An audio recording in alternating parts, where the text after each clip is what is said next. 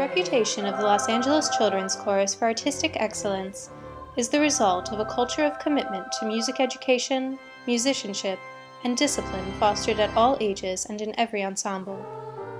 Helmed by artistic director Anne Tomlinson, a former student of Margaret Hillis, the Los Angeles Children's Chorus's performance history reads like a who's who list of classical music, both for the ensembles with whom they have collaborated and the composers whose music they have performed or commissioned. Serving children from ages 6 to 18, the Los Angeles Children's Chorus's rigorous program trains children to become highly capable musicians while also learning critical life skills.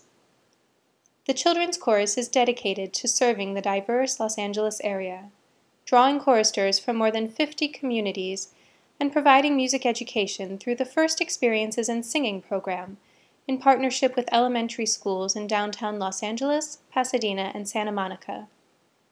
Additionally, they offer free Community Connections concerts throughout the greater metropolitan area. The Los Angeles Children's Chorus exemplifies Margaret Hillis's ideals of organizational integrity, community focus, and above all, transformative artistry.